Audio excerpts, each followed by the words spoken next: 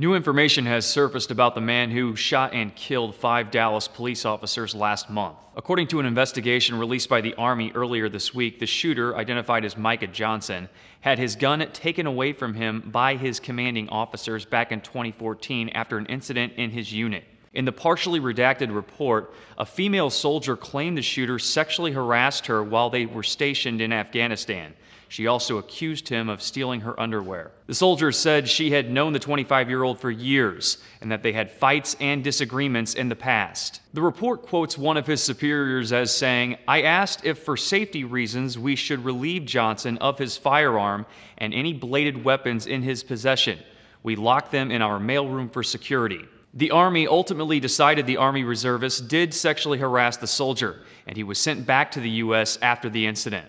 An Army official told USA Today he didn't appear agitated or a threat to himself or others when his weapons were confiscated, and it was unusual for military authorities to take such action. On July 7th of this year, Johnson killed five police officers and wounded nine more in a shooting at a protest against police violence in Dallas.